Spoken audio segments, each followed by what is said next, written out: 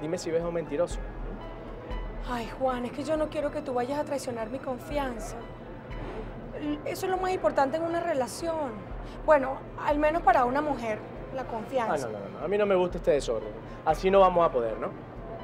Ay, Juan, ¿cuál desorden? ¿De qué hablas? Bueno, el desorden con el que estás llevando esta relación. Ana, mira, toda relación tiene una primera etapa. La de los besitos y abrazos ricos. Pero tú no, tú saltaste a la etapa de los reclamos y los reproches, ¿ah? Esta es nuestra primera salida inocente después que nos hicimos novios, hace aproximadamente unas... Mm, tres horas y 20 minutos. Casi nada. ¿Estás viendo? Hace casi nada. Vamos a conocernos, ¿sí? Vamos a saber si somos o no somos. Porque yo, yo siento que estoy firmando un contrato y me estás leyendo únicamente la cláusula penal. bueno, está bien.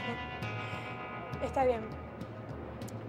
Vamos a darnos tiempo y eso incluye los besitos. Ah, no, no, no, no.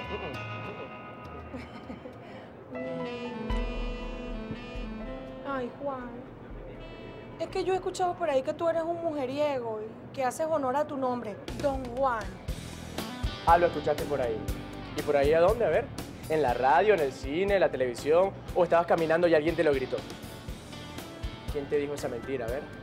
Afortunadamente, Ana no está tan desesperada como otras. Gracias. ¿Qué haces? Bueno, tú me estás ofreciendo tu mano y yo estoy siendo caballero. Te ofrecí la mano para que me la agarres mientras caminamos. Caminar tomados de la mano también forma parte de los besitos. Así le decimos a todo el mundo que somos novios. Además, uno camina así como con un sentido de pertenencia ante la sociedad y ante Dios. Con eso le grito a todo el mundo que eres mío y tú le gritas a todo el mundo que yo soy tuya. Bueno, sí. Somos tuyos. Eh, ¿Qué digo? Somos nuestros. O algo parecido, ¿no?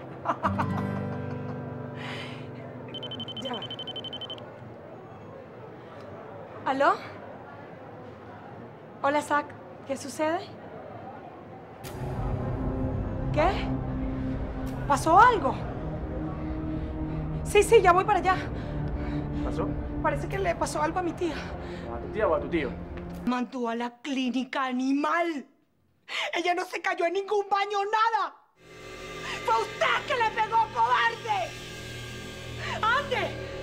Reconozca delante de sus hijos que es un cobarde que le pega a las mujeres. ¡Cállate!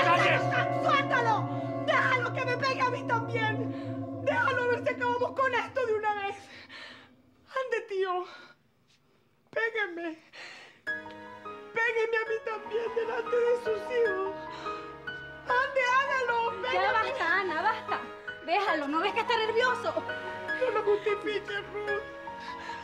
¡Míralo, él está mal porque no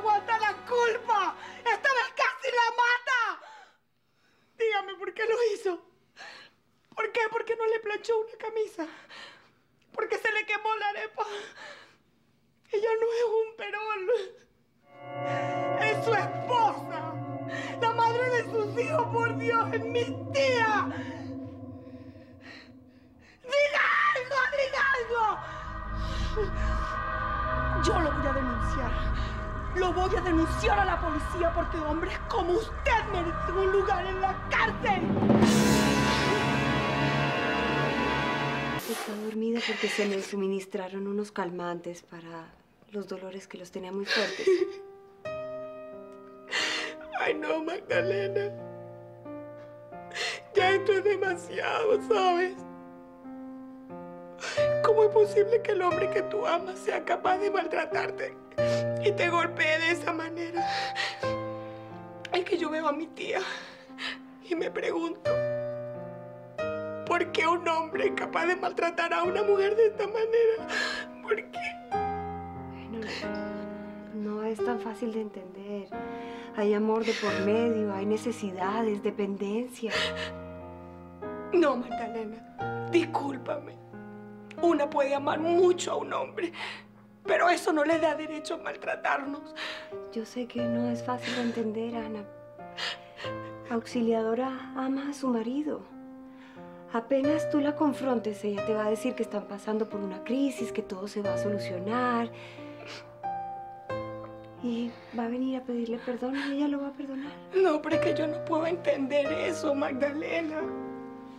¿Cómo es posible que un hombre te caiga a golpes a cada rato y que mi tía se la tenga que calar? ¿Y que acaso no hay amor que cubra eso? Las mujeres tenemos un espíritu de aguante que los hombres no entienden. Uno se sacrifica por los hijos, por el marido, por el amor que le siente. Todo pensando que las cosas se van a solucionar. ¿Tú no perdonarías al hombre que amas? Bueno, es posible que sí. Ay, Magdalena. Ay, Magdalena, pero es que esto ya es demasiado, Magdalena. Pobrecita mi tía, Magdalena.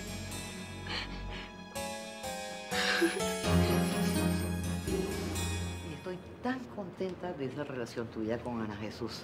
Es una muchacha tan linda en todo sentido. En eso estamos totalmente de acuerdo, doña Maya. Bueno, yo estoy segura de que esa es la mujer que cualquier hombre quiere como esposa, ¿no es así? Y espero que sabrás apreciarla en su justa medida. Confío en ti porque tú eres un hombre serio, todo un caballero. Pero hay una cosa, Juan. La confianza, eso es muy importante. Y cuando se pierde... Sí, sí, sí, sí, tiene toda la razón. Ana y yo ya lo hemos conversado y estamos de acuerdo en eso. Ay, qué bien. Mira, tú sabías que Ana Jesús es mi protegida, que la quiero como una hija. Y espero que no mancilles el honor de mi protegida, ¿verdad? Respondele a la jefa. No la dejes con la duda. Claro que no, doña Maya. Ustedes preocúpense que lo mío con Ana va en serio, muy en serio. Los hombres, ¿qué creen? ¿Que uno es de su propiedad? Cálmate, Ana, bonita, no te pongas así. Mira, lamentablemente ese tipo de cosas son más comunes de lo que uno se imagina. Tú no serías capaz de maltratarme, ¿verdad? Ni de esta manera, ni de ninguna otra. No, vale, claro que no, por favor. Pues más te vale, ¿oíste? Más te vale. Porque si de alguna manera te pasa por la mente enloquecerte y me llegas a maltratar de esta manera o de alguna otra, es que yo te mando para la cárcel y no lo voy a pensar dos veces. Así que mosca, pues preso vas ir, mosca como una cosa. Saxi me, me contó todo lo, lo que pasó y por eso estoy acá. Ah, mire, aquí traje una florecita. Ay, gracias, Jairo, tan bonito. Mira, Jairo, aprovecho para presentarte a Juan. Él es mi novio y él es el primo de Numa. ¿Qué tal? Mucho gusto. Mucho gusto. Ah, pero yo como que lo he visto a usted por el bufete, ¿no? Ah, bueno, seguramente licenciado, porque yo le trabajo a la doctora Revuelta. Ah, claro, claro, ya, ya, en lo de la jardinería del edificio. Mira, Por supuesto. Ese me hacía conocido ya. ¡Ah, sí! Tú eres el jardinero de Virginia Revueltas. ¡Ay, pero el mundo es un pañuelo! Tanto como ese no, porque yo no soy de nadie, ¿no? Pero no por falta de ganas. Pero sí, yo le trabajo a ella. ¿Y por qué? ¿Fue que ella le dijo algo de mí o qué? Ah, no. No. No, nada en serio. Mire, Juan, a mí me alegra mucho que mi muchacha se esté dando una oportunidad con usted, ¿sabe? Porque ella se la pasa del trabajo a la universidad y de la universidad a la casa y jamás tiene tiempo para sus cositas. Así que usted se está llevando tremenda muchacha, ¿sabe? Ah, Eso sí es verdad. Eso es verdad porque esta mujer es una mujer de edición de lujo, ¿yo? Y sabe una cosa, yo a ella la conozco desde chiquitica. Por eso es que la quiero como una sobrina más. Así que mucho cuidado, ¿yo? Y no solo se lo digo por mí, sino por ella, que ella es candanga. Ay, tan bonito tú y tus cosas, Jairo. Bueno, yo tampoco soy tan así, mi amor, no le hagas mucho caso. Y no me lo vayan a espantar, mira que apenas nos estamos conociendo. Sí, es verdad. Ana y yo apenas estamos saliendo. Vamos paso a paso. Pero yo la quiero para bien. Tengo las mejores intenciones con ella. Ay, tan bello. Mire, Juan. ¿Y usted es cristiano? ¿Cómo dice? Que si crees en Dios, mi amor. Bueno, yo respeto a las personas que creen en Dios. Pero yo particularmente pienso que cada uno de nosotros es como, como una especie de Dios. Ay, divino niño. Ah, Ay, muchacho, ¿y si roda usted o yo? Esa es la respuesta equivocada, señor. Mire, y yo se lo digo por experiencia. Así es. El que no es creyente aquí, aquí no tiene cabida en esta familia. Señor. Juan, ¿es verdad que tú no crees en Dios? Juan Coronel es todo lo contrario a Ana Jesús. Yo no me creo ese papelito de hombre enamorado. Tú estás sangrando por la herida que te dejó Juan porque te ganó la apuesta. Mi querida Pamela, Juan no ganó la apuesta, la gané yo. Juan renunció porque no pudo seducir a Ana Jesús. Y eso lo confirmé por fuentes de primera mano. Lo que pasa es que tú no te sientes ganador porque no sientes perdedora, Juan. Total, se quedó con Ana, que para él vale mucho más. Sí, es verdad. No me gustó la forma en que gané. Y a él no le importó perder. Y esa era la idea, Pamela. Que le importara perder frente a mí. Entonces, ¿qué vas a hacer? ¿Otra apuesta? ¿Por qué no?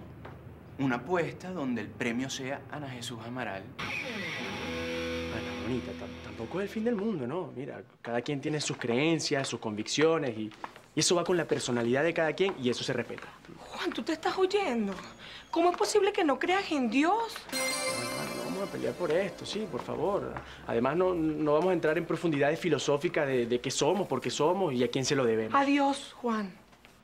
Todo se lo debemos a Dios. Pero ¿cómo puedes decir eso si hasta nombre de discípulo tienes? Eso no tiene nada que ver. Además, eso fue, fue idea de mi mamá. El punto es, Ana, que yo no creo en Dios. Y yo no me molesto contigo porque tú sí crees en Él. Entonces, ¿por qué tú sí te vas a molestar conmigo? A ver. Porque es un defecto, Juan. Eso es peor que un defecto. Es que. Es que es un desperfecto, una rareza que dice mucho de ti. Ah, no, no, no, no, ya va, Ana, párame eso ahí, párame eso ahí, porque el hecho de que yo no crea en Dios no significa que yo sea un desgraciado inmoral, un tipo que, que, que no tenga valores, o que no me importe nada ni nadie, ojo. No. No, yo no puedo estar con alguien que no crea en Dios. Ese señor que está allá arriba, Juan, forma parte de mi vida, forma parte de mi existencia. Pues parece que por ocuparse tanto de tu vida, abandonó la mía. En mi vida, Ana, tu Dios ha estado completamente ausente. Y créeme que te lo digo con responsabilidad. No. Tú y yo no podemos así, Juan. Yo, yo, yo no puedo entender. No, es que yo tampoco puedo entender que tenga que ser creyente para estar contigo. Lo siento. Lo siento, yo veo que no me entiendes. Juan, yo puedo admitir algunas diferencias, pero en este punto no hay excepciones. En fin, ya veo que no podemos entendernos. Y tampoco es el momento ni el lugar. Yo, yo mejor me voy.